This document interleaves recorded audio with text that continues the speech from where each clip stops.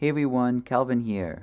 So I saw some koi fish the other day and it really inspired me to kind of figure out a simple way to paint them. So that's what I'm going to cover in this video. This is a great project for anyone of any skill level because you'll be able to create a finished little scene in that wabi-sabi kind of zen style in just a few minutes. So I've already got a watercolor paper texture loaded into Procreate and this time I'm using the Langton paper texture which is one I haven't used in a long time. And for the brushes, I'm just going to use the regular brushes in the regular watercolor kit. And as usual, I'll put links to everything I use and a little bit more information about it in the description down below. So no sketch is necessary. I'm just going to start painting on a layer underneath the paper texture, just like you normally do. And for the brush, I'm going to start with the Abstract Round brush, which is part of the regular watercolor kit. And since the main color of these koi fish is that kind of medium saturated orange color, I'm going to start with that first. So I'm going to use that Abstract Round at almost the largest size. Maybe I'll go all the way. Yeah, that's pretty good. And I always start with the head first. So I'll start by making a kind of a ball shape like that. I'm pressing pretty hard. I'll circle around and then taper it off. And it's okay if it gets a little bit screwed up. It's normal, it's just part of uh, the Apple Pencil and how Procreate works. So I'm going to go in there again with the eraser brush and I've already set that to the fine liner pen, which is also part of the regular watercolor kit. And I'm going to fix my strokes here. Mostly around the head, I want it to be uh, very angular, I guess almost like a snake head. So I'll flatten the sides, I'll flatten the nose, and then I'll just kind of taper the sides to uh, meet the uh, flat nose. So uh, with anything in this kind of Zen style, it's important not to get carried away with making it perfect.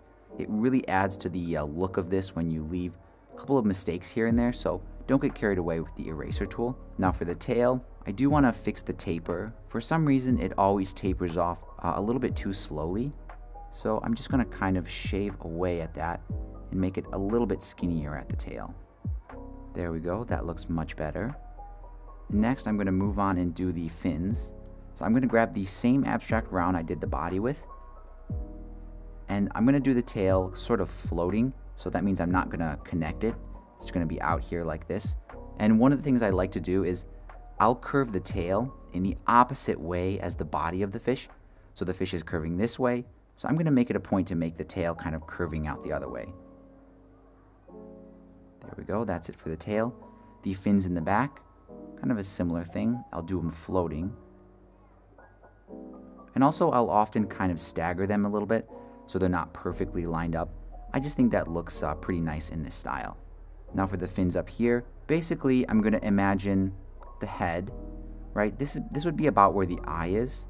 So I'll put the fins back here. But again, with fish, the proportions aren't really critical. And even if you get it way wrong, it'll look fine. Next, I'm going to add some details to the fish, and I'm going to do it on the same layer. I'm just going to change the brush to the fine liner pen, and I'm going to change the color to a slightly redder version of that same color.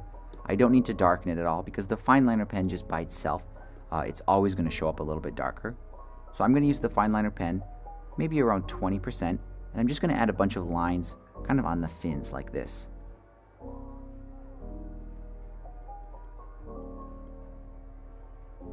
And I'm also going to add a pretty bold line along the back here, and I'm sort of pulsing the pressure so it doesn't end up being too smooth. And then I'm going to go in there just along the edge and in a couple of areas, I'm going to add a very light line.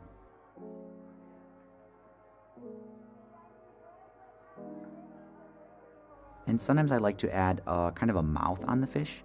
So it's really easy. I'm just going to make this kind of, I guess it's like a C shape like this. And then sometimes I'll add a little bit of whiskers like this. And I think while I'm on the head, I'll add the eyes real quick. So I'll select pretty much pure black. And I'm just going to do some kind of narrow discs on the side like this. And you don't have to do scales, uh, but I think it does add a nice kind of pattern. So for the scales, I recommend doing it on a different layer so we can lower the opacity later on. And for the color, pretty much any version uh, similar to the color we used previously. And I'll use the fine liner pen brush. And the scales are really easy. I'm just going to do a bunch of these little C shapes like this. Now, it's important to not get too carried away. You don't have to make them really close together. Uh, it's just a suggestion of detail, so I'll do them with a lot of space in between.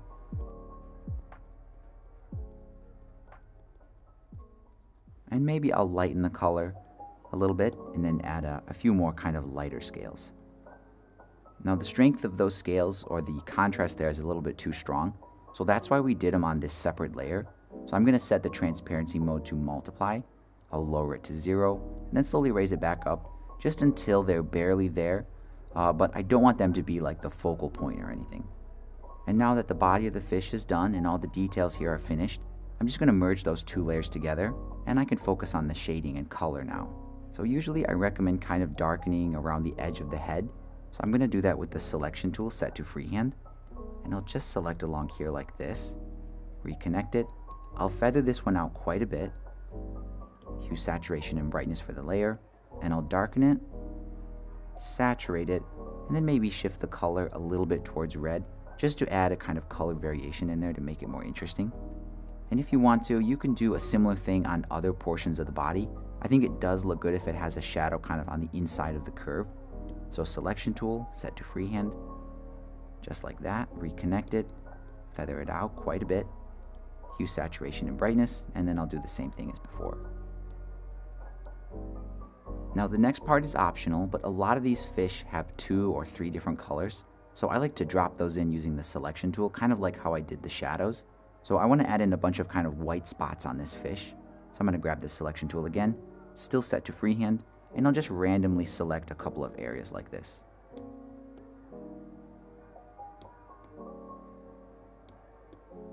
And all those selections are still active, so I can feather them out at the same time. And I'll feather them out a lot, maybe around 10 or 12%. Then I'll go to hue, saturation, and brightness again.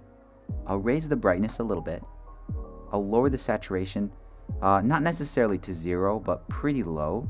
And then I'll just kind of go back and forth, kind of raising the brightness, messing with the saturation until I find a nice kind of balance there. There we go, I think that looks pretty good. So this koi fish is all done, and by itself, uh, it's really cool, but there's an easy way to add a kind of a next level to the scene here. So if I open up the layers panel, this koi fish is just on one layer, so I'm going to duplicate it, and I'm going to grab the arrow tool and kind of zoom out here. I'll just rotate it and try to imagine a kind of a circle. There we go. And these fish are exactly the same, uh, but there's an easy way to turn this one into a black koi fish. So I'm going to make sure that second one is selected. I'll go to my adjustments, hue, saturation, and brightness for the layer. And first I'll desaturate that fish. And then I'll lower the brightness. I think that looks pretty good. There we go. And sometimes, um, in this case, my colors are very transparent. I want this koi fish to be even darker than that because right now it looks kind of gray. So I'm going to duplicate it in the layers panel. So now two of them are basically like stacking on top of each other. Uh, that's why it's showing up darker. And I can kind of lower the opacity there and control uh, how dark that second fish is. I think that's pretty good. I'll just merge those together.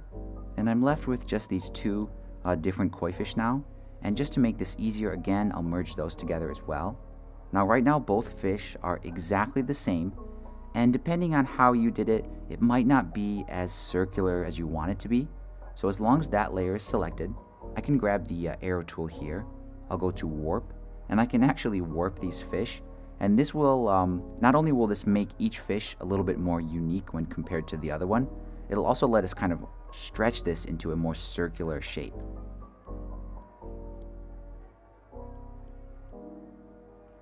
And there we go, this one is all done.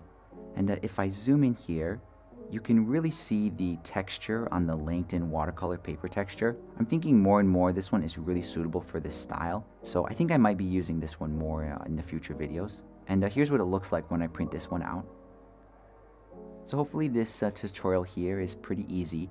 I really think keeping it simple is best with this kind of stuff. It's just more satisfying than other styles. I think because I can be kind of a perfectionist, I get lost making some other painting styles just more and more perfect. So if you have any suggestions for future tutorials, please leave a comment down below. Uh, not only do I enjoy getting inspired from your ideas, it also lets YouTube know that this video is worth recommending to others. And that pretty much wraps it up. As always, thank you so much for your support. Thanks for watching, and I'll see you in the next video.